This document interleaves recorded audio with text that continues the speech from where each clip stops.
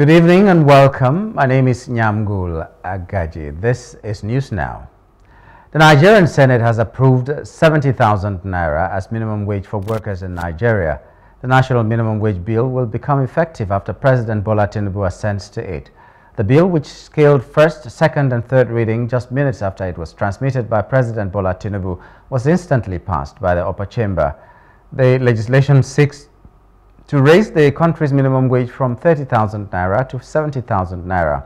While leading a debate on the bill, Opeyemi Bamidele, Senate leader, said 70,000 naira was agreed upon by all parties after negotiations.